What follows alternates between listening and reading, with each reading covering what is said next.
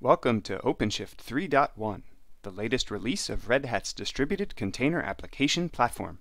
Several new features are here to make build and deployment automation easier than ever. Users can create their own projects to hold all of the resources for their applications. Now these projects can inherit quotas and limits by default.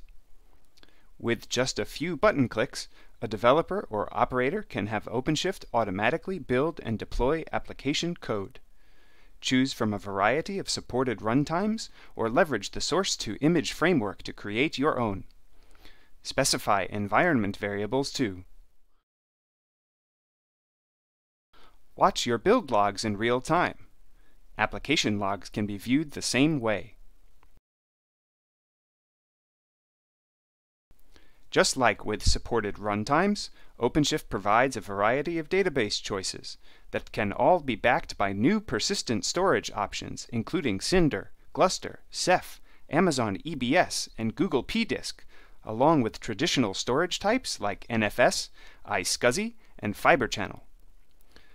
OpenShift makes it easy to scale up your application to support whatever density is required. The powerful OpenShift scheduler automatically spreads workload throughout the environment to ensure high availability of your application. It can even validate the liveness of your apps and automatically reschedule failed instances. The new topology view makes it easy to see how your application components are deployed and interact.